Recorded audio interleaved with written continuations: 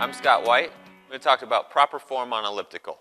Proper form on elliptical is important because posture is important. You stand up tall, your abs are working better, your body's straighter, metabolically speaking, everything functions better. Not to mention you don't develop bad habits like poor posture, slumped shoulders. And so when you exercise, you want to do it properly. Proper form on elliptical is all about your posture, staying upright and nice and tall.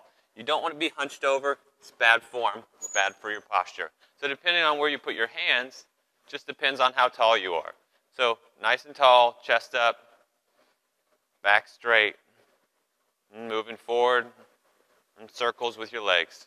Remember, proper form on an elliptical machine is standing upright with good posture. It's really that simple.